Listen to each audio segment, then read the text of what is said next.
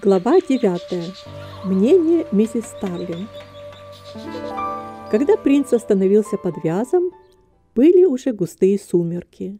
Солнце зашло за далекие низкие холмы, оставив белое сияние в западной области неба, а на долины спустились тени. Весь домашний уклад был нарушен, и необходимо было как можно скорее все сделать. Это, конечно же, относилось к миссис Сталлинг и ее дочери. Ежевика была аккуратно убрана, стол накрыт, ужин приготовлен, потому что мужчинам нужен был горячий ужин, а после ужина и уборки наступило затишье.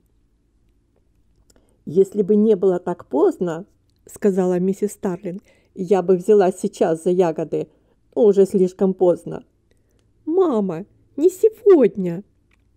Нет, как я уже сказала, сегодня слишком поздно, и я устала. Хотела бы я знать, как люди называют это, работой или развлечением. Если это развлечение, то я лучше буду работать. По мне, так лучше заниматься стиркой. Чем собирать ягоды? Ну да, сказала миссис Старлинг. Потому что тогда бы я знала, когда окончать работу. Если бы солнце не зашло, мы бы все еще работали. Но ведь ты могла остановиться, когда устала. Я, дитя, когда вижу перед собой работу, никогда не чувствую усталости. Разве ты не знаешь? И грех оставлять спелые ягоды несобранными. Интересно, почему они растут в таком месте? С кем ты сегодня была целый день? С разными людьми. Нашел ли тебя Вилл Флантин? Да. Он интересовался, где ты есть, и я ему кое-что намекнула. Я не знаю, мама, как ты могла знать? Ведь я все время ходила вокруг и между кустов, и часто сама не знала, где нахожусь. Когда ты этого не знаешь, Диана, остановись и выясни. Миссис Старлинг сидела, вытянув ноги перед печкой и отдыхала. Диана была занята какими-то мелочами, но тон матери насторожил ее. Или это было ее собственное сознание? Она неожиданно остановилась и посмотрела на мать, Девушка была позади нее, поэтому мать этого не видела. «Тебе никогда не приходило в голову, что ты нравишься Виллу?» Продолжала она. «Мама, Виллу Фландин?» Последовал нечленораздельный утвердительный звук. Диана не ответила и продолжала заниматься своим делом. «Ну?» Продолжала миссис Сталлинг. «Я надеюсь, мама, что если это так, то он скоро забудет об этом». «Почему?» «Я не знаю, почему», – со смехом ответила Диана. «Разве только ему понравится кто-либо еще?» «Он хороший парень». «Да, неплохой, если судить в общем». «И он будет очень богат, Диана». «Тогда он мне не пара, матушка, потому что я уже богатая». «Нет, дитя, ты не богатая», – возразила миссис Старлинг. «У нас достаточно, чтобы жить, но это все». «А что еще нужно?» «Диана, ты не имеешь в виду то, что говоришь, воскликнула мать, оборачиваясь к дочери. Разве тебе не хочется красивой одежды, хорошего дома и мебель по вкусу, и даже слух, которые бы выполняли за тебя работу? Интересно, кто разбирается в этом, если не ты? Разве тебе не хотелось бы богатой кареты? Все это, матушка, мне нравится, но оно не на первом месте. А что же, по-твоему, на первом месте? Резко спросила миссис Старлинг. Я бы сказала то, как они мне достанутся. Ох, я думала, что ты скажешь на первом месте мужчина. Это обычный ответ. Диана продолжала молчать. А сейчас ты можешь иметь вилла, продолжала мать. И это будет для тебя мой выбор. Девушка не отвечала. Парень сообразительный, симпатичный, у него будет прекрасная ферма и много денег. И он из тех, кто приобретает, а не теряет. И его мать – хорошая женщина. Это одна из лучших семей во всей Плезент-Валле. «Я бы предпочла ни за кого не выходить замуж», – сказала Диана, снова усмехнувшись. «Знаешь, матушка, в мире много хороших людей. Я не могу их всех иметь». «А с кем ты была до обеда?» – неожиданно спросила миссис Старлинг. «Ты ушла, и оставила меня с группой из Эмфилда. С ними я и была. Я видела, когда ты вышла из кустов вместе с ними. Что за попугай это, мисс Мастерс? И миссис, как ее зовут, другая, тоже не лучше ее, мягкая, как масло, и такая же скользкая, как они вообще оказались на ежевичном холме. «Предполагаю, они думали, что там будет весело», — ответила Диана с напряжением в голосе. «Не позволяй никому там заигрывать с тобой, Диана Старлинг, если знаешь, что для тебя хорошо». «Где мама?» «Там, в Имфилде, между Нолтонами». «А что в них плохого?» – спросила Диана, но в ее голосе послышались веселые нотки, которые, возможно, заставили мать насторожиться. Она энергично продолжала. «Бедные и гордые», – ответила она. «Бедные и гордые – и это, пожалуй, самое ничтожное сочетание. Я не возражаю, если у людей есть за что зацепиться. Что ж, напыщенность естественна для человеческой натуры. Я все равно могу их простить, потому что у меня тоже есть гордость, как и у них. Но когда у них ничего нет, они так высоко думают о себе. Что касается меня, я бы предпочла держаться от них подальше. Мне неприятно находиться среди них, и если они считают себя уважаемыми, то я их мнение не разделяю. Гертруда Мастерс не лучше воздушного шара, наполненного газом. Она не такая тяжелая, чтобы удержаться на ногах. А миссис, как ее зовут? Джиневив. Та скользкая, как угорь. И Эван просто обезьяна.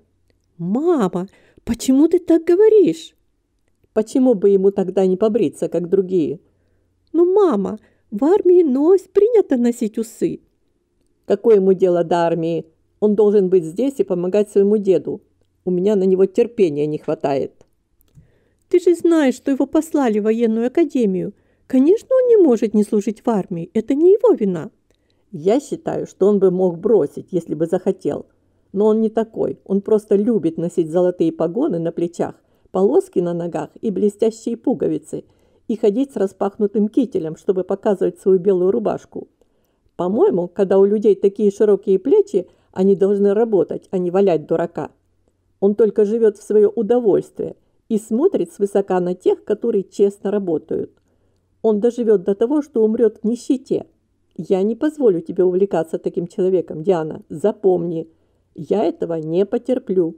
Я не допущу, чтобы ты ставила себя выше своей матери и презирала то, как тебя воспитывали. Я хочу, чтобы ты была госпожой в доме Вилла Фландин и владела его землей и деньгами. И ты это можешь, если захочешь». Диана не знала, смеяться ли ей или плакать, и решила не доверять своему голосу. На этом они разошлись по своим комнатам. Но за закрытой дверью плакать больше не хотелось. Разве лунный свет не струился широко и свободно по всем полям, наполняя весь мир тихим сиянием? Так и на душу Дианы снизошло ясное, спокойное сияние от счастья. Не было ни волнения, ни тени и никакого колебания такого полного потока невыразимого экстаза. Все, что не было с ним в гармонии, исчезло. Так бывает при лунном свете. Дневной свет тоже стал слаще. Диана всегда видела его на рассвете, в те лучшие часы дня, когда сила, свежесть, обещание и светлая надежда являются речью и взглядом природы. Сколько помощи теряют люди, которые теряют все это, когда первые лучи солнца, коснувшись гор, расплываются в улыбке, когда утро мягко скрывает покров с предстоящей работы – когда дуновение утреннего ветерка говорит о мужестве или дышит сочувствием. Какое ясное голубое небо, кажется, ждет, когда закончит свои часы только начинающийся день. Диана часто видела это, но она не всегда останавливалась так надолго у окна, чтобы посмотреть и послушать, как сегодня утром. Сегодня было ясное, тихое, прозрачное утро, без малейшего намека на мороз, обещавшая один из тех мягких, золотых, восхитительных сентябрьских дней, которые являются самой зрелостью года. И все же шесть часов утра только обещали это. Так ее жизнь. Но дневной свет принес всю силу реальности, а прошлой ночью было только лунное сияние. Диана постояла несколько минут у окна, впитывая все это, а затем отправилась в свою молочную. Увы, Голова может находиться в эфире, а ноги в то же время идти по неровной поверхности. Так произошло за завтраком. «Как там свиньи, Джоси?» – спросила строго миссис Старлинг. «Ну, я не знаю», – прозвучал неопределенный ответ. «Похоже, самый малый из них опережает всех». «Почему это?» – возразила миссис Старлинг. «Что за причина, что другие не растут так быстро, как он?» «Он другой породы, вот и все», – бесстрастно ответил Джосия. «Он будет самым большим». «Ты всех кормишь одинаково?» «Всем наливаю в одно корыто», – проговорил Джосия. «Но что касается еды, я скажу вам, этот поросенок съедает гораздо больше, чем ему причитается, поэтому он и растет». «Они все отстают в росте, Джосия». «Мы их еще не кормили кукурузой». «Но они не такие, как были в прошлогодние в это время». «Не вижу, что я могу сделать», – сказал Джосия. «Я им не мешаю». С этими словами он закончил завтрак и ушел. Все, о чем он думает, это его собственная еда. И пока она у него есть, ему все равно, вращается мир вокруг своей оси или нет. Проворчала миссис Старлинг. Наверное, так бывает с большинством людей, мама.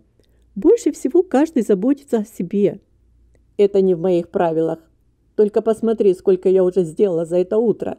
А он только поел завтрак и бросил корм для скота. Я сходила в сарай, осмотрела синокос, подсчитала зерно в закромах, позаботилась о свиньях, и все это было после того, как я развела огонь, помолола кофе, поставила вариться картошку, накрыла на стол и прибрала в комнатах. Ты будешь сегодня взбивать сливки? Нет, мама. Они уже давно стоят. Однако еще не готовы. Вот в чем ты ошибаешься, Диана Старлинг. И если ты хочешь быть кем-то, кроме бедной женщины, ты должна исправиться. Это только маленькие дырочки в твоем кармане, через которые вытекают деньги, по копеечке за раз, конечно. Но мало-помалу, когда ты начнешь искать доллары, ты их не найдешь и не будешь знать, куда они делись. «Матушка!» – засмеялась Диана. «Мне не страшно, ведь мы никогда не нуждались». «Ты еще дитя, но когда начнешь подрастать, тут они тебе и понадобятся. Выходи замуж за Вилла Фландин, и они у тебя будут, и тогда можешь сбивать свои сливки, когда захочешь. Я тебе вот что скажу, Диана.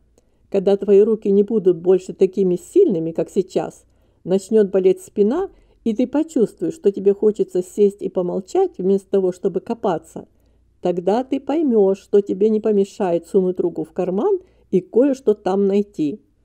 Как бы я хотела, чтобы у меня сейчас были деньги, которые твой отец потратил на книги, от книг многие с ума сходят. Знаешь ли ты, что сегодня после обеда встреча швейного кружка? Я совсем об этом забыла. Лучше я не пойду. Одна из нас должна пойти, ответила миссис Старлинг. Я вообще не вижу, как я могу управиться, но, наверное, придется. Тогда тебе придется печь хлеб, Диана. Вчерашний день меня добил. И что ты собираешься делать с этой ежевикой? Она слишком спелая, чтобы ждать. Я займусь ею после обеда, мама, не переживай. Так прошло утро. Миссис Старлинг, вероятно, предчувствовала, что с делами Дианы что-то не так. Она не могла сказать, что именно, но этот тайный страх или сомнение были причиной ее высказываний, и она была очень раздраженной. Все утро Диане приходилось выслушивать и отвечать на ряд возмущений и жалоб.